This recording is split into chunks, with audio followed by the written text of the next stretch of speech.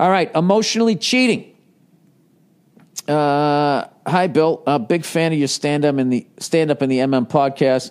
I wanted to get your advice on a relationship question. I got married to my wife last year in September, who I've known for 10 years um, prior to tying the knot. At the start of this year, my wife, age 30, admitted to me that she has been emotionally cheating. Jesus, she told you. Why didn't she tell you? As far as I know, no physical cheating on me, which started a couple months prior to us getting married with her 51 year old coworker who's a divorcee with two kids.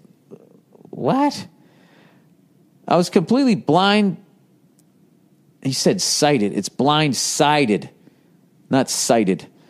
Blind sided. And in, and in shock when she told me this. About a month ago, she told me she needs to go find herself.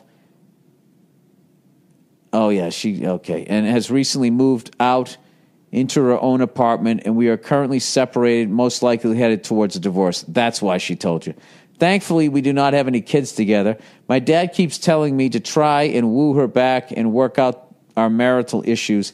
Even if I could do that, I'm not sure I want someone who has betrayed marital trust and scarred me in such a way. What do you think? Uh, looking forward to season two of his F Is for Family. Keep up the good work and go fuck yourself. Um, I think you're in a great position. You should stay there, dude. Fuck this, okay? Um, you've known her for 10 years. She's 30. So you met her real young. She didn't get to go out and go do everything that she wants to do. And uh, yeah, dude, I would walk away. You know, if you guys are roughly the same age, dude, you still got a lot of time. And I would you know, uh, she did you a huge favor. Just look at it that way, dude. Okay, football season's here. Get the NFL package. You know, start hitting the gym. Just get on with your life, man. That that's what I I would honestly do, and just you know get yourself in a great positive headspace. Too. You don't have any kids. She was upfront and honest. She's thirty. She's she's fucking got her tongue hanging out about some fifty one year old. I don't know. That's fucking weird to me. But I'm also a guy. Um, uh, let let it go, man. you know when you let a fish run on the line, maybe tire it out. That just I would literally throw the whole rod in the water. Just let that one get away. Cut the line. Fuck that. Like I said, man. Um. Oh fuck that, dude. Go travel. Go to Europe. Go do something. I don't know. Go.